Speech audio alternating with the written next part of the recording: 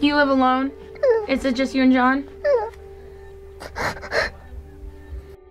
She said that she laid him down and went and checked for about an hour and a half later, and he was cold. He's about six months old, she said. Cougar 2 to the emergency room, please. When we get out, I'll take over CPR when we get to that. There you go. Gotta have a plan when we move. One, two, three, four.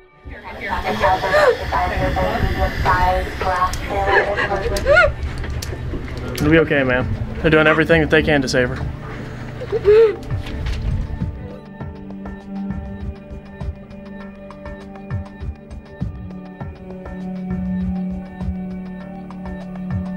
We are one of the largest BLS, which is the EMT level field ops in the state of Kansas. Traditionally, community colleges focus their attention on paramedics and AEMT training, but for us, we like it for all levels. So we really focus in on those BLS providers because the majority of the state of Kansas is EMTs, they're not paramedics.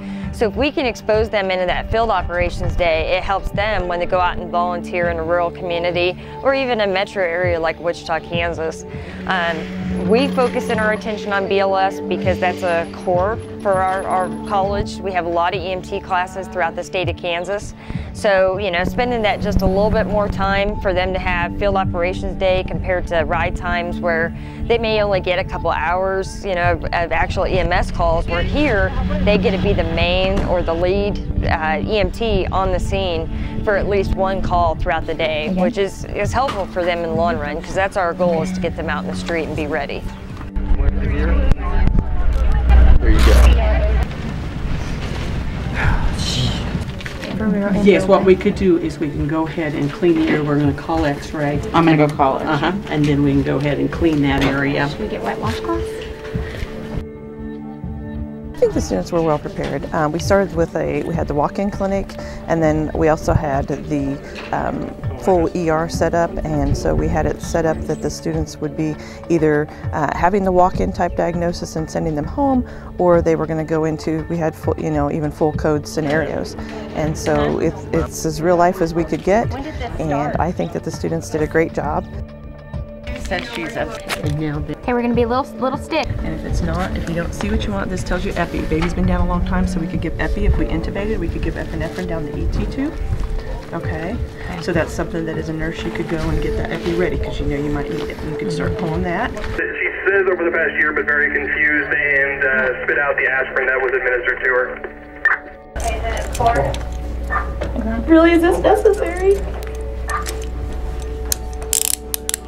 We try to give a wide, wide range of scenarios from everything from the simple medical calls to the trauma patients to um, having the 1048s, which is a motor vehicle accident, so that these students get a, a very, uh, just a plethora of all kinds of calls to do. Uh, because when you run a call, you don't know what you're going to have. You don't know if it's going to be that miscarriage. You don't know if it's going to be a wreck. You don't know if it's just something as simple as uh, abdominal pain or something. So we try to give them the a wide variety, but not just from the medical part, but also from having to deal with a grandmother that just lost her grandchild. That she's she's the baby's code blue, which means pulseless and apneic, uh, not breathing and not uh, have a pulse. And it's just now they've got to deal with the family, or they've got to deal with bystanders, or they've got to oh hey we've got a scenario here going that we have police department not here and we need them. So it, we try to get all kinds of different things in there for those guys so they get to see, and they don't get to see that if they do the ride time in the clinical quite as often. The Barton Field Ops Day, you kind of got put under a lot of pressure, a lot of stress, a lot of things you're not usually uh, like subjected to, I guess. First scenario I got called out to was a rollover accident with three people who were injured, two were unresponding. Um, the second call I got dispatched to was a domestic violence between two women who were apparently drunk. Um, and my last scenario I was dispatched to was a code blue infant who was unresponsive for about 10 minutes. Man, Mom, lady. Come on.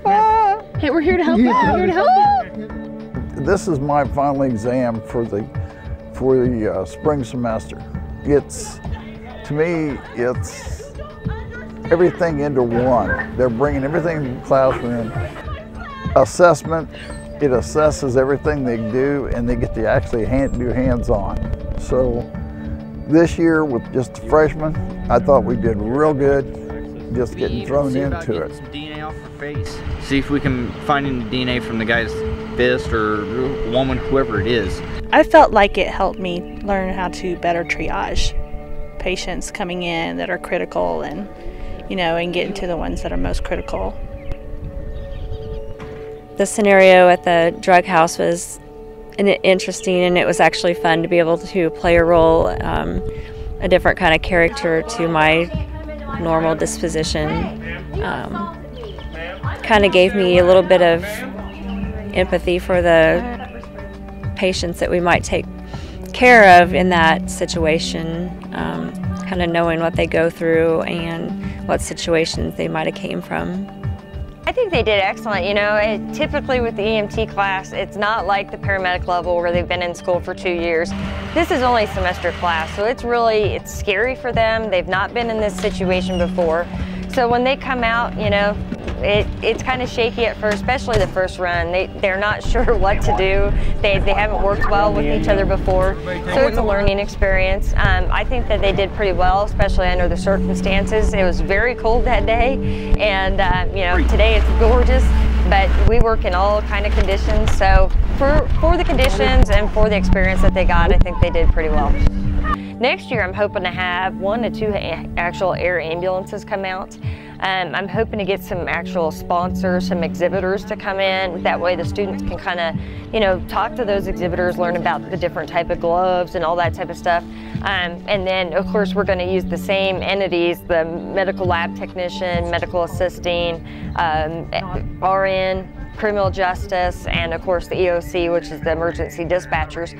And you know, our, our hope is that next year we'll be able to use the whole entire grounds. But you know, we're going to have more outdoor scenes. We may even have some type of explosion that occurs.